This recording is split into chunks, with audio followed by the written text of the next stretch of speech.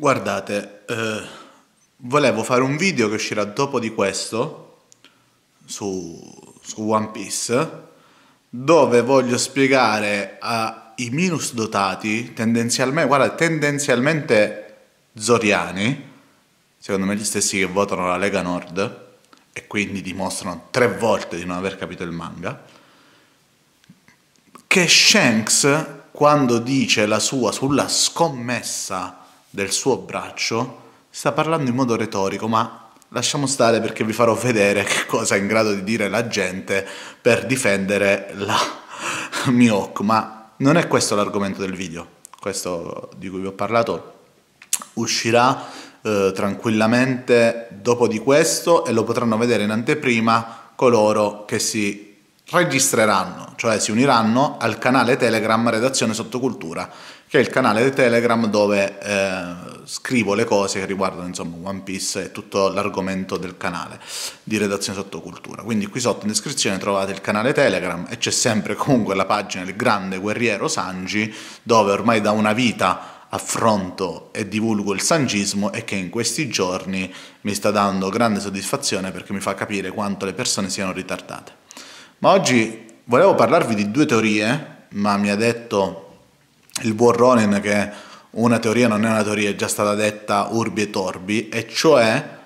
che immaginavo, eh, però perciò ho chiesto a lui se fosse stata già detta, che la teoria per la quale il combattimento avverrà durante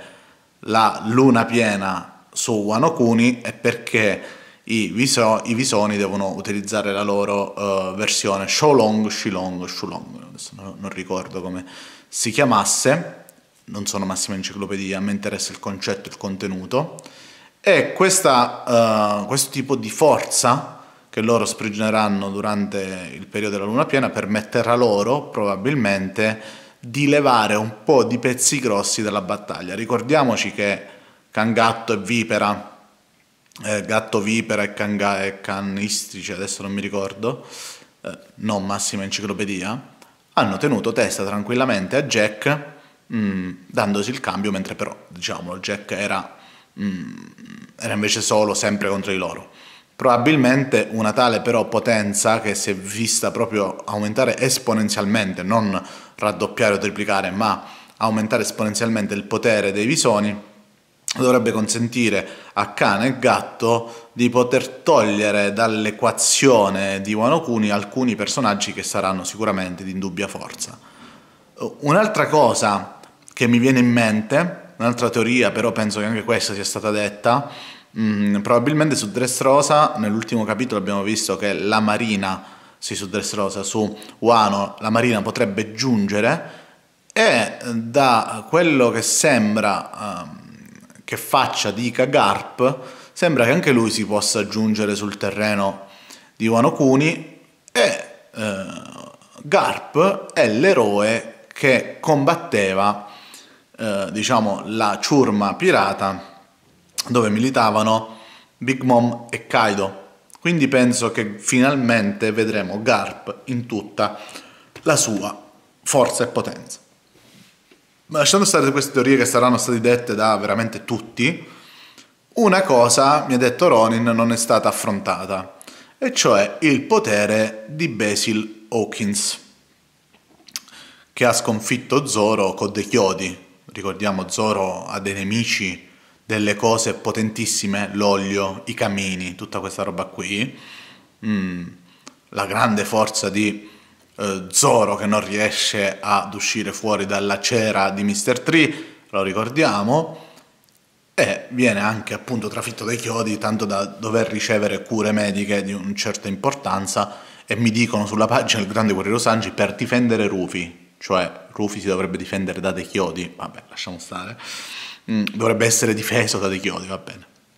Ora, i poteri di Basil Hawkins sono stati sempre molto particolari.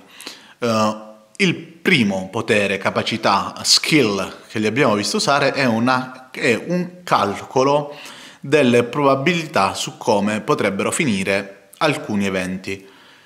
Una cosa che mi ricorda tantissimo, tantissimo il eh, buon uh, Gudener. Il buon Gudener era riuscito a fare una previsione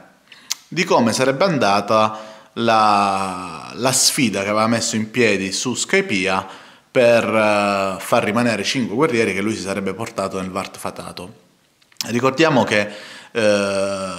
Ener aveva non solo un Aki dell'osservazione molto potente, ma riusciva a intersecarlo con la sua elettricità e questo gli permetteva di ascoltare anche i discorsi che si facevano su tutta Skypia. Un'altra bella amalgama che abbiamo visto di Aki e potere del frutto è anche Rufi che è riuscito a trasformare in Aki della corazza gommoso alcune parti del suo, del suo corpo tanto da resistere a delle punte, eh, dei colpi da contundenti con l'Aki ma se- preservando praticamente la sua elasticità. E quindi mi chiedo se Basil Hawkins abbia questo potere di previsione degli eventi basata sul fatto che l'ambizione dell'osservazione spinta fino a un certo punto abbiamo visto ad esempio che ha portato Karakuri a prevedere alcuni eventi. Non capisco se l'utilizzo delle carte sia uh, davvero uh, un modo per poter incanalare in qualche modo uh, questa sua preveggenza, questo suo haki dell'osservazione, o se le carte uh, di divinazione che lui ha possono avere intriso magari dell'aki dell'osservazione. Nel senso, se abbiamo visto che le spade possono assorbire l'aki dell'armatura, perché non possono esistere altri oggetti che incalanano l'aki dell'osservazione che insieme appunto ai poteri di un possessore di forte ambizione dell'osservazione gli permettano di calcolare le probabilità? Questa è la prima skill di Hawkins. La seconda skill che abbiamo visto di Hawkins è quella di eh, prendere in prestito, diciamo così, le vite eh, dei, di altre persone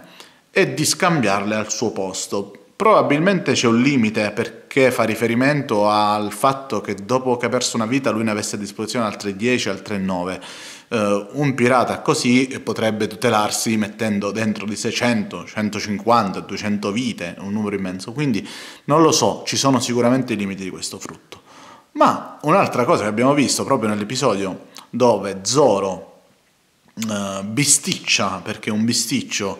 con Hawkins, abbiamo visto che Hawkins tira fuori da una spada uh, la stessa paglia di cui lo compone il suo frutto, no?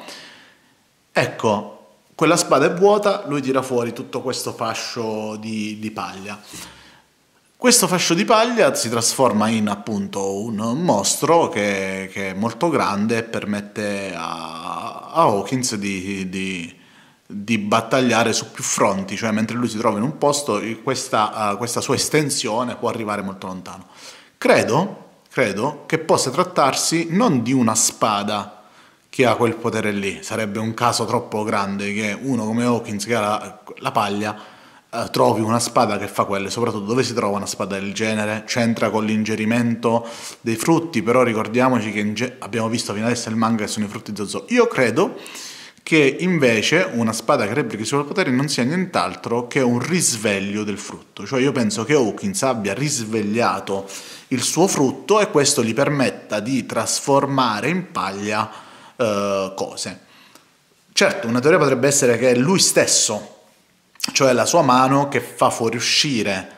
eh, dalla spada eh, diciamo i suoi tentacoli paglieschi. Io credo di no, perché c'è una scena in cui Zoro taglia tutto questo uomo di paglia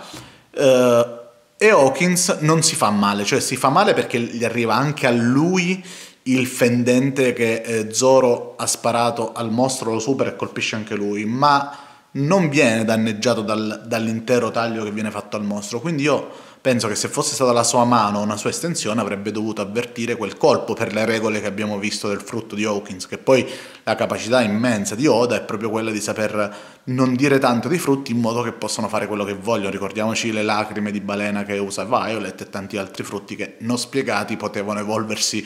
con ogni potenzialità verso diverse strade. Um, fatemi sapere che cosa ne pensate uh, del potere di Hawkins e soprattutto se mi sono perso qualche dettaglio vignetta del manga che lo spiega meglio e se è possibile che ci sia uh, ci troviamo davanti ad un risveglio del frutto. Alla prossima, dove vi parlerò della scommessa di Shanks che non avete capito.